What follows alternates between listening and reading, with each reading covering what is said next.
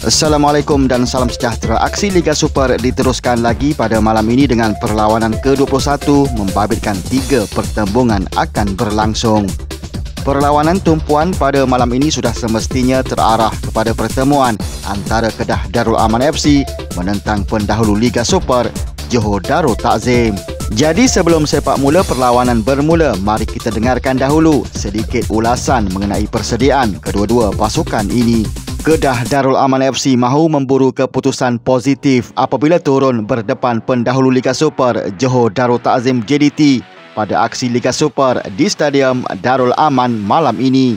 Pengendalinya Nafuzi Zain berkata selepas meraih kemenangan 2-1 ke atas Penang FC selasa lalu, sang kenari kini sedia memberi fokus pada aksi lebih mencabar di laman sendiri berdepan skuad Harimau Selatan. Sudah pasti kami mahu teruskan fokus kami selepas meraih lima kemenangan berturut-turut dalam aksi Liga Super sebelum ini. Malah kami juga teruja untuk berdepan JDT sekali lagi.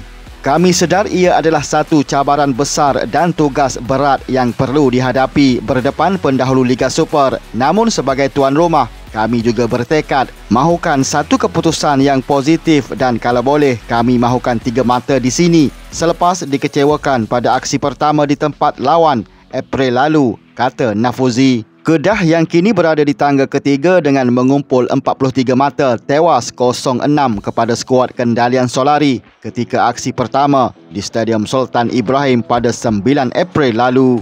Seterusnya, mampukah Johor Darul Takzim JDT menoktahkan perfect 10 bagi menjuarai Liga Super kali ke-10 berturut-turut lebih awal apabila berdepan Kedah malam ini?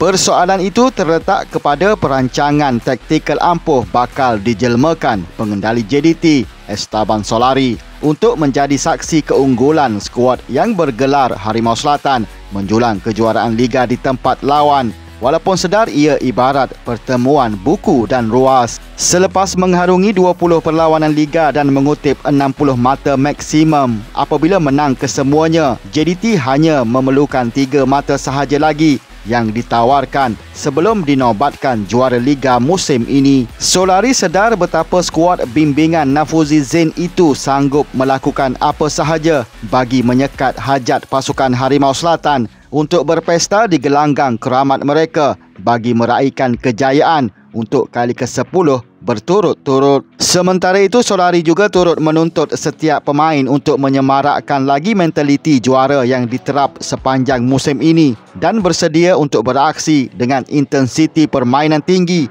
dan mengelak daripada melakukan kesilapan mudah. Tambahnya lagi kesemua pemain Harimau Selatan kini berada di tahap yang terbaik selepas berjaya mencatatkan rekod jaringan terbesar musim ini apabila menewaskan Kelantan FC 10-0 pada aksi kedua pusingan 16 Piala Malaysia Sabtu lalu.